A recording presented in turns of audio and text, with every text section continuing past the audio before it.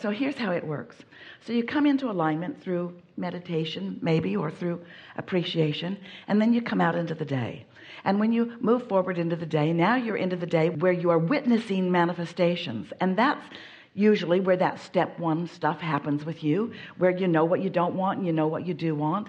And often, through just what you are observing, almost everyone is offering the majority of their vibration based upon what they are observing, which doesn't really serve you all that well if you are only observing and only responding to what you're observing.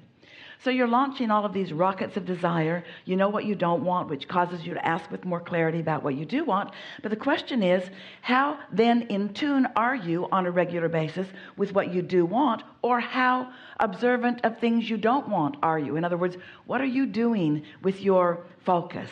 And as you are focusing, then what's happening to you vibrationally? So let's say that you meditate and then you focus in the world, and so you spend most of your day observing and having responses to what you're observing.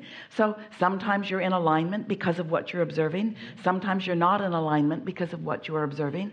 But in any case, you're not a deliberate creator. You're sort of created by reactional response to things. You're having reactions to what's going on, which makes you a very conditional creator, which means you really have very little control because you can't control the conditions. Have you noticed? There are too many moving parts.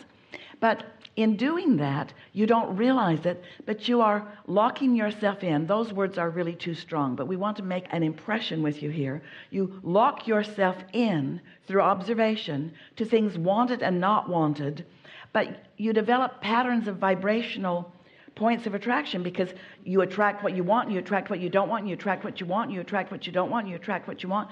And then you sort of get weary, and then you, by default, fall into what humans think is the easiest way of going about it, which is really by far and away the hardest, hardest, hardest way of going about it. You seek to control the conditions of your environment.